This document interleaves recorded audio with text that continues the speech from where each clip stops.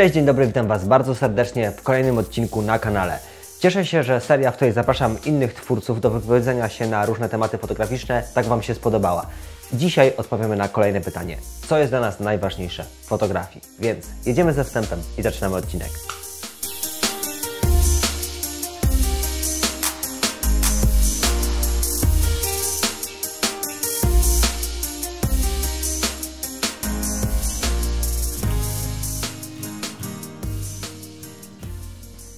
Zanim przejdziemy do odpowiedzi na pytania, duża prośba do Was. Jeżeli jesteście nowi na tym kanale, bądź jeszcze go nie subskrybujecie, to koniecznie kliknijcie w czerwony przycisk na dole oraz zaznaczcie sobie dzwonek obok. W ten sposób dostaniecie powiadomienie, jak tylko wrzucę nowy film na kanał. Pamiętajcie również o kciukach w górę, bo subskrypcje, kciuki w górę czy komentarze pomagają rozwijać ten kanał, docierać do nowych odbiorców, na czym mi bardzo zależy. Teraz przechodzimy do odpowiedzi na pytania. Do odcinków staram się zapraszać urozmaiconych gości z różnych dziedzin fotograficznych, tak żeby te odpowiedzi na pytania były jak najbardziej ciekawe, ale pamiętajcie również, że ten kanał tworzymy wspólnie razem, więc w komentarzach pod tym filmem dawajcie również znać, kogo chcecie zobaczyć w kolejnych odcinkach i jakie pytania mógłbym zadać właśnie tym gościom, którzy będą się pojawiać na kanale. W ten sposób te filmy będą jeszcze lepiej odpowiadać na Wasze potrzeby. A tymczasem przechodzimy do pierwszej odpowiedzi na pytanie.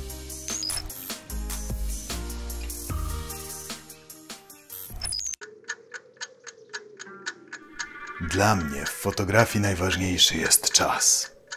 A właściwie to, że fotografia czas zapamiętuje. Wspomnienia są ulotne, potrafią znikać, zacierać się, a czasami nawet przekształcać tak bardzo, że rzeczywistość w nich zapisana jest już zupełnie inna niż była naprawdę. A w fotografii zawsze jest taka sama. Nigdy nie skasowałem żadnych zdjęć. Dzięki nim mogę ponownie patrzeć w oczy ludziom, którzy kiedyś na mnie patrzyli, a teraz już ich nie ma. Fotografię nazywam wehikułem do podróży w czasie i przestrzeni. Dzięki niej mogę odwiedzić miejsca, w których nigdy nie byłem, zobaczyć wydarzenia, w których nie brałem udziału i które już przeminęły. Mogę też przenieść się do innych epok, w których nie dane było mi żyć. To jest dla mnie najważniejsze w fotografii. Ale przestańmy już bujać w obłokach. Pogadajmy o sprzęcie. Moja sentymentalna natura doprowadziła do tego, że fotografia stała się moim zawodem, a w pracy najważniejsze jest dla mnie to, żeby sprzęt był uniwersalny. Dlatego używam dwóch aparatów z dwoma obiektywami typu zoom. Co sprawia, że jestem zaopatrzony tak, jakbym miał ze sobą wiadro obiektywów stałoogniskowych i jestem gotów do realizacji niemal każdego fotograficznego zadania. Od tak, pyk, od ręki. Z biegiem lat zauważyłem też, że istotne dla mnie jest to, żebym ze sprzętem mógł komfortowo spędzić dużo czasu, żeby był lekki, więc przesiadłem się ostatnio na to maleństwo. Ale sprzęt do pracy to są narzędzia. Narzędzia, z którymi nie jesteśmy związani emocjonalnie. Po pracy fajnie jest mieć aparaty do kochania. Aparaty, które uwielbiamy dotykać, uwielbiamy czuć je pod swoimi palcami, jak pracują ich mechanizmy. Proste, z jednym obiektywem. Aparaty powolne, które pozwolą nam się zrelaksować i czerpać przyjemność, jak największą przyjemność z fotografowania.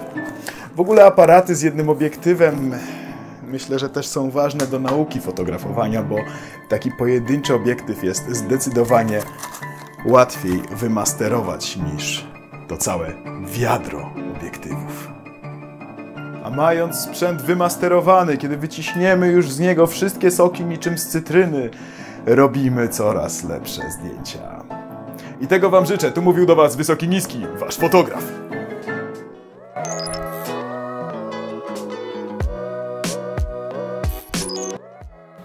Cześć, z tej strony Kuba Ociepa. Ja jestem z podcastu Zawód Fotograf. Przede wszystkim dziękuję Michałowi za zaproszenie do tej wypowiedzi i za ciekawe pytanie. A pytanie brzmi, co jest dla Ciebie najważniejsze w fotografii? Dla mnie, jako fotoreportera, bo ja byłem przez długi, długi czas związany z Gazetą Wyborczą, najważniejsze jest informacyjność i odwaga. Te dwie cechy i te dwie rzeczy po prostu przydają się w pracy fotoreportera. Informacyjność o tyle, że kadr, który chcę włożyć do gazety, musi być czysty.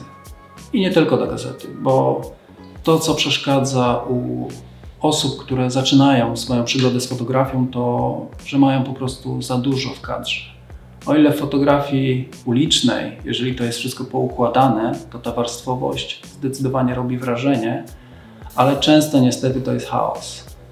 Tam, gdzie chcielibyśmy, żeby była informacyjność i taka czystość przekazu, jest wszystko, ale nie to, na co mamy zwrócić uwagę.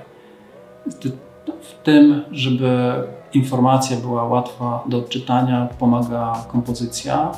Także nauczcie się kompozycji. Myślę, że większość zna zasady trójpodziału, bo one są proste, ale zastosowanie trochę kuleje. Także kompozycja i wyczyszczenie tła. Im prostsze tło, tym łatwiej o wydobycie z niego tego pierwszego planu, który chcemy mieć czytelny. Głębia ostrości tam, gdzie ma być. E, no i znaczeniowość, bo jeżeli my sfotografujemy kogoś na konferencji prasowej na przykład, ale mamy jego plecy, nie mamy żadnego gestu, to możemy sobie mówić, że to świetnie wyglądało, że on był bardzo charyzmatyczną postacią i w ogóle to tryskała od niego energia, ale jak nie mamy tego na zdjęciu, no to to są puste słowa. Musimy, jeżeli fotografujemy jakiegoś człowieka, który jest pełny energii, wyzwolić tą energię. No, na konferencji prasowej nie zrobimy tego, bo on sam musi o to zadbać, ale na portret, podczas portretowania to fotograf musi nawiązać taki kontakt z portretowaną osobą, żeby, żeby się zadziało. Także dbamy o tło, dbamy o czytelność właśnie tego i emocje, które wydobywamy sami. To jest do zrobienia i zdecydowanie to poprawia właśnie czytelność i taką informacyjność.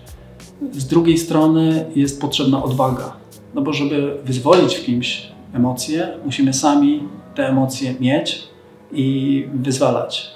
Odwaga pomaga w tym i odwaga mierzenia się w ogóle z tematami fotograficznymi. Nie bójmy się podejmować wyzwań. Jeżeli na jakiejś grupie jest napisane, że zrób takie zdjęcia, takie, wysyłaj na konkurs, róbmy to. Róbmy zdjęcia na czyjeś zlecenie. Wprowadzajmy się w taki stan napięcia, żeby to jednak, żeby bardziej nam zależało. Bo jeżeli całkowicie obojętnie podchodzimy do zdjęć, to nie będą dobre zdjęcia. Tam muszą być jakieś emocje. Im ja przypominam sobie, że im bardziej miałem mm, napięcie takie, że ktoś oczekiwał dobrych zdjęć albo zjechał mnie za poprzednie słabe zdjęcia, to u mnie ten stres wzrastał, ale też były lepsze zdjęcia, bo ja się musiałem z czymś zmierzyć. Polecam Wam, żebyście tak działali, czyli czytelność w kadrze i odwaga fotografowania. Dziękuję.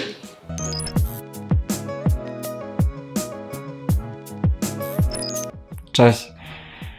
Nazywam się Michał Brzegowy, jestem fotografem.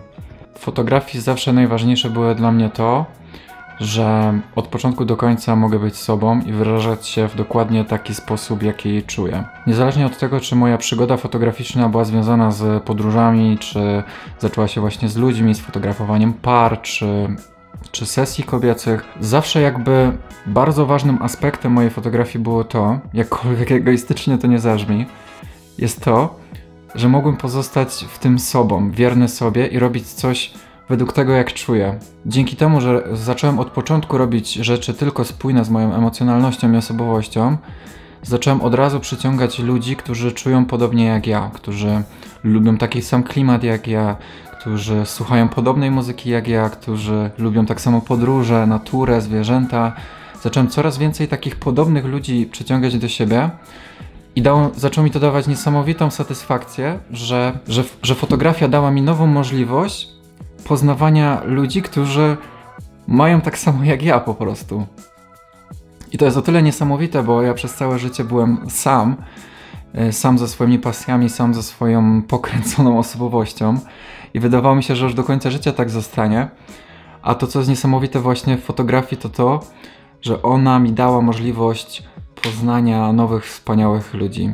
Kolejną ważną rzeczą dla mnie w fotografii jest to, żeby zawsze kłaść nacisk na ludzkie emocje w momencie, kiedy pracuję z ludźmi.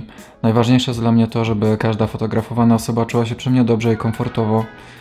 Nie zależy mi na tylko na ostrych zdjęciach, przepięknych kadrach, krajobrazach, co jest oczywiście fajnie pojechać gdzieś na Islandię i zrobić super sesję, ale uważam, że możemy zrobić równie fajną sesję czy, czy reportaż ślubny nawet w małej miejscowości obok Krakowa, jeśli po prostu wszyscy razem się ze sobą dobrze czujemy i sobie ufamy.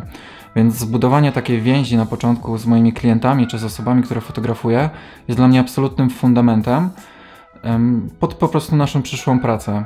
Wiem, że są różne sposoby przeprowadzenia sesji, ale ja na przykład nie mam nigdy limitu czasowego na sesji, ponieważ z racji tego, że nie chcę nigdy narzucać tej presji, bo zawsze chcę dać ten dodatkowy, nielimitowany czas na poznanie się, na pójście na kawę, co pozwoli nam się czuć wszystkim bardziej komfortowo ze sobą, a to jest dla mnie najważniejsze w fotografii, bo uważam, że w momencie, kiedy osoba patrzy na obiektyw, tak naprawdę patrzy na mnie przez pryzmat tego, jak się przy mnie czuje, więc nawet jeśli zdjęcie będzie najpiękniejsze na świecie, ale ta osoba będzie spięta, to to będzie widać na zdjęciu.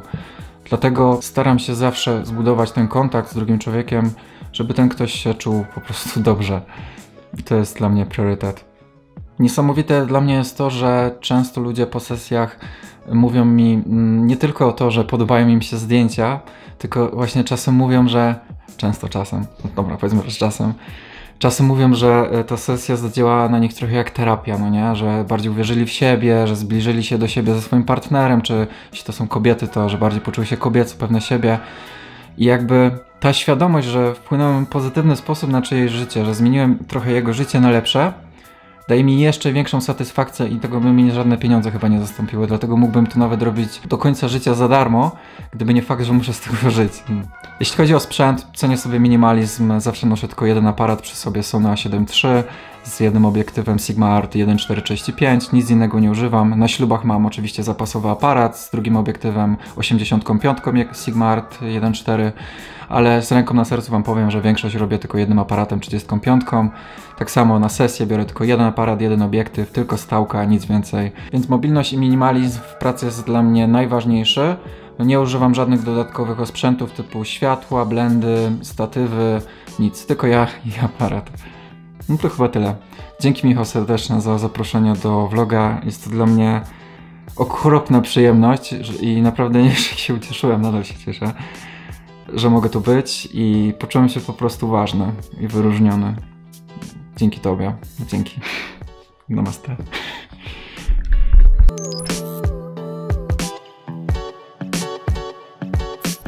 Nie wiem, czy kiedyś zastanawiałeś się nad tym, co by się stało, gdyby całe twoje archiwum domowe nagle zniknęło. Nagle ktoś usunął wszystkie twoje wspomnienia z tych zdjęć. Nie wiem, ja sobie nie wyobrażam takiej sytuacji, w której e, giną moje zdjęcia, które dostałem od dziadka, kiedy e, pamiętam, że całe dzieciństwo poświęciłem na oglądanie tych fotografii i one nie były tak naprawdę idealne pod kątem technicznym, nie były pięknie skadrowane, nie były super obrobione, nie były nawet naświetlone w, w, w porządny sposób. Natomiast e, po upływie lat, kiedy patrzę na nie i nawet kiedy filtruję je przez pryzmat doświadczenia swojego fotograficznego, kiedy widzę, jak dużo czasu sam poświęciłem na to, żeby się dowiedzieć, jak naświetlić zdjęcie, jak je obrobić, jak je wywołać i tak dalej, to widzę, że to ma drugorzędne znaczenie wszystko. Tak naprawdę w fotografii liczy się ta warstwa emocjonalna, ta warstwa wspomnieniowa, ta warstwa e, pozwalająca przywołać pewne rzeczy, które kiedyś w przeszłości były, których już aktualnie nie ma. E, I teraz wracam do tej myśli mm, pierwotnej, że kiedy ktoś po prostu by sprawił, że te zdjęcia gdzieś po prostu by zniknęły, to myślę, że cały świat by mi się tutaj zawalił. E, I e, teraz, kiedy mówię te słowa, to przypomina mi się takie zdjęcie, które dziadek mi pokazał. E, Mianowicie moja babcia stoi na plaży i ono jest skadrowane tak, że babcia jest przecięta w pół, po prostu na, na skraju kadru, czyli ktoś, ktoś, kto by oceniał to zdjęcie, to by powiedział, nie, tu jest jakiś krzywy horyzont, główny temat zdjęcia w ogóle jest gdzieś poza kadrem praktycznie. E, Nie ma na tym zdjęciu nic takiego, e, co e, mo- mogłoby sprawić, że mm, e, oglądający powinien zawiesić wzrok na tym zdjęciu, a dla mnie to zdjęcie jest genialne, ono mi się wryło w pamięć, ono było tak... nieidealne, że ja sobie pomyślałem, no tak, ale, ale mój dziadek się starał. To był czas, w którym oni, który oni spędzili ze sobą. Jakieś fajne e, wspomnienia pewnie z tego wyjazdu mają, e, a ja mam dzięki tej fotografii też, e, też mega fajne wspomnienia i pomyślałem sobie, że podzielę się z, z tobą taką myślą, dlatego że e, tak naprawdę my jako fotografowie, którzy mamy a, aspiracje do tego, żeby być e, jak najbardziej profesjonalni, dostarczać jak najlepsze zdjęcia, jak najbardziej, e, mm, jak, jak najlepiej skadrowane, jak najlepiej skomponowane.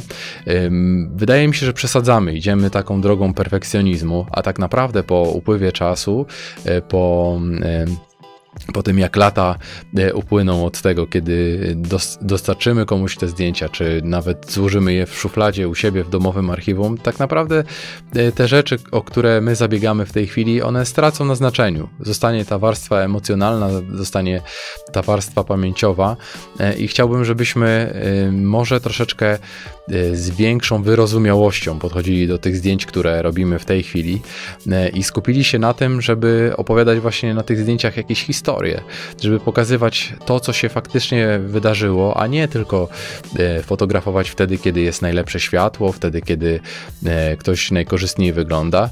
Myślę, że oczywiście mm, tutaj nie byłbym takim radykałem, żeby wszystko pokazywać e, na zasadzie takiego real photo, jak jest. Chciałbym też dostarczać ludziom jak najbardziej estetyczne zdjęcia i chciałbym też takie zdjęcia móc składować w swoim domowym archiwum, ale tak na dobrą sprawę wiem, że czasem ważniejsze jest to, żeby te zdjęcia po prostu były, żeby momenty, które uważam w tej chwili za ważne, one nie przemijały, żeby one się nie zacierały w mojej pamięci, gdyż wiem, że ta pamięć jest po prostu okrutna i e, wy działa wybiórczo. Fotografia jest czymś w rodzaju takiego pamiętnika. Chciałbym, żebyś też o tym pamiętał, kiedy będziesz fotografował e, swoje swoje wydarzenia, które uważasz za ważne, kiedy e, pójdziesz na zlecenia, e, udokumentować rzeczy ważne dla Twoich klientów.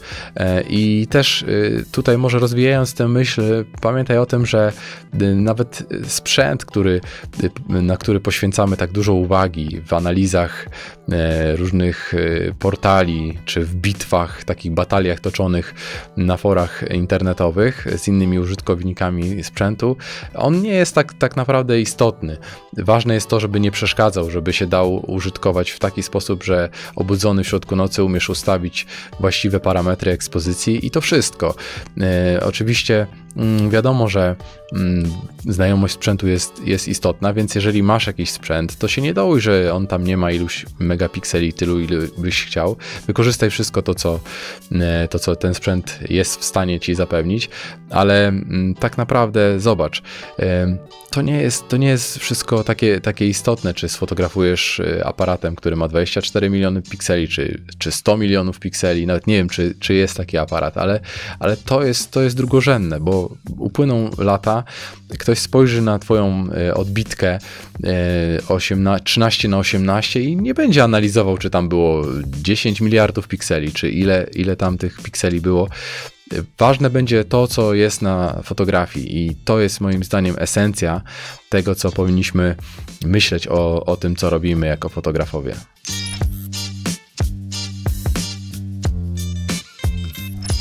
Zatem, co jest dla mnie najważniejsze w fotografii? To nie jest łatwe pytanie, bo trzeba je ograniczyć przede wszystkim na kilka różnych części, które gdzieś tam siedzą w mojej głowie.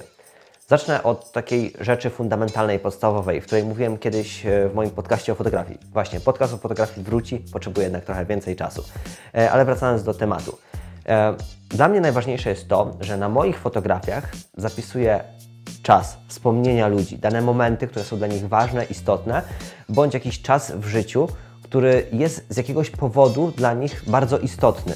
I to jest super motywacja do robienia zdjęć, do doskonalenia swojego warsztatu, żeby te emocje, te chwile, te momenty pokazywać w jak najlepszy sposób, żeby tym wszystkim zawrzeć trochę siebie, ale żeby też technicznie fajnie to wszystko wyglądało i żeby osoby z przyjemnością patrzyły na te fotografie teraz, ale również za 10, 15 czy 40 nawet lat. Bardzo ważnym momentem dla mnie był moment, kiedy odezwała się do mnie jedna rodzina, u której kiedyś fotografowałem na uroczystości. E, I tam zrobiłem różne portrety takie rodzinne i po czasie okazało się, że babcia tej rodziny właśnie zmarła. E, I to był dla mnie taki moment, w którym e, właśnie ta rodzina się odezwała i poprosiła o wydruk tego zdjęcia, bo właśnie babcia już odeszła. E, I właściwie to jest najbardziej aktualne i najlepsze jej zdjęcie. I na tym zdjęciu wygląda tak, że chcą po prostu w ten sposób ją zapamiętać. No i to chwyta za serducho, strasznie chwyta za serducho. Takie momenty, w których zdajesz sobie sprawę, że to, co robisz, to nie jest jakiś tam stryk, tylko dla kogoś to może być najważniejsze zdjęcie w życiu. To jest naprawdę potęga, to jest ogromna siła. Jak sobie to uświadamiamy, to chcemy dalej fotografować. Ja tak miałem. Wtedy jeszcze mocniej przyłożyłem się do rozwoju fotograficznego, do tego, żeby moje zdjęcia były jak najlepsze. Ale to tylko jeden czynnik, który ma jakiś wpływ, bo dla mnie fotografia jest oprócz e, tego zapisywania tych danych momentów, e, dokumentowania życia, jest dla mnie również możliwością kreacji i stworzenia tego, co siedzi w mojej głowie, tego, co jest w mojej wyobraźni. E, dla mnie fotografia jest również bardzo ważna pod tym względem właśnie, że mogę na przykład ja, bo często robię też sobie autoportrety, czy kreuję różne postaci na moich e, fotografiach. I dla mnie to jest fajne, że ja mogę na tych zdjęciach być różnymi postaciami, różnymi osobami, e, którymi w rzeczywistości nie będę, nigdy nie będę. Mogę się wykreować na, nie wiem, e, jakiegoś informatyka, mogę się wykreować na jakiegoś właśnie hakera, e, mogę również przedstawić siebie pod różnymi kątami na tych zdjęciach, e, tak jak gdzieś tam sobie wymyśliłem to w głowie. I tak samo z moimi postaciami, które fotografuję. E, mogę sprawić, że dana modelka dany model będzie wyglądał w określony sposób na tych fotografiach. Ta, to zdjęcie będzie miało jakiś swój wydźwięk. I to jest dla mnie bardzo, bardzo istotne i bardzo ważne, żeby dać upust tej swojej wyobraźni e, i przenieść to wszystko na fotografię. Ale dzięki temu, że mam sprzęt, który umożliwia mi to wszystko, jest mi o wiele łatwiej właśnie przekazywać te wszystkie wizje. I to jest również bardzo istotne, żeby mieć sprzęt, który pozwala zapisać na fotografiach właśnie to, co sobie wyobrazimy i to, jak sobie daną scenę gdzieś tam ułożyliśmy w głowie. I płynnie przechodząc do ostatniego punktu. E, w fotografii jest dla mnie najważniejsze to pod względem sprzętowym, żeby mieć aparat i obiektyw, który mnie nie ogranicza. Czyli jeżeli chodzi o sam korpus, e, on musi pracować na wysokich czułościach ISO. Ja często kreuję sobie oświetlenie za sprawą właśnie na przykład telefonu trzymanego w ręce, jakichś słabych źródeł światła. Często fotografuję e, właśnie w świetle zastanym. Zatem sprzęt nie może mnie ograniczać. Zatem wody, e, na którym pracuję, musi mieć akceptowalne wysokie czułości ISO. To jest dla mnie podstawa. E, druga rzecz, jeżeli chodzi o korpus, no to ta jakość zdjęć oczywiście musi być jak najlepsza, ale też nie przesadzam w tym kierunku. To nie musi być od razu Hasselblad za 100 tysięcy, e, ale aparat, który ma pełnoklatkową matrycę, e, daje dobrą jakość obrazu, ma wysokie czułości akceptowalne oraz przede wszystkim dobry autofokus, żeby te zdjęcia były zawsze trafione ostrością tam, gdzie ja chcę. To jest właściwie wszystko. I do tego potrzebuję obiektyw portretowy, na przykład 85 mm e, ze światłem jakimś niskim dosyć, żeby móc fotografować właśnie w trudnych warunkach. I to jest właściwie zestaw, który jest dla mnie podstawą wszelkiej kreacji. Oczywiście ważne są również inne obiektywy. Na przykład bardzo lubię 35, którą często fotografuję, aczkolwiek y, portretówka to jest dla mnie obiektyw, bez którego sobie no, życia fotograficznego nie wyobrażam. I tak właśnie wyglądają najważniejsze rzeczy w mojej fotografii. E, takie są moje motywacje do robienia zdjęć, e, taki sprzęt jest najważniejszy. Mam nadzieję, że odpowiedziałem na to pytanie w taki sposób, że Was do czegoś również zainspiruje. A tymczasem przechodzimy do zakończenia. I tak właśnie prezentują się odpowiedzi moje i moich gości na zadane pytanie. Mam nadzieję, że zmotywowaliśmy Was do robienia zdjęć, do dalszego rozwoju fotograficznego, bo przede wszystkim o to w tym chodzi, żebyśmy dyskutowali również na temat fotografii. Nie tylko technika, nie tylko konkretne sposoby na robienie zdjęć, ale również inspiracja, motywacja, spojrzenia innych osób na dany temat fotograficzny, bo dzięki temu również możemy się rozwijać na tych innych płaszczyznach związanych z naszą pasją. Pamiętajcie, że jeżeli macie propozycje kolejnych gości do odcinka, Jeżeli chcecie im zadać jakieś konkretne pytania, no to wrzucajcie wszystko w komentarzach pod tym filmem. Chcecie więcej? No to klikajcie kciuka w górę, zostawiajcie komentarze, subskrybujcie kanał, żeby być na bieżąco z wszystkimi filmami. Na koniec dziękuję jeszcze raz chłopakom za udział, zapraszam na ich kanały, zobaczcie co tworzą, co dla Was przygotowali. Tam również znajdziecie sporo inspiracji, sporo ciekawych rzeczy czy poradników fotograficznych. A my widzimy się w kolejnym odcinku. Dzięki za uwagę i do następnego razu. Cześć, piąteczka.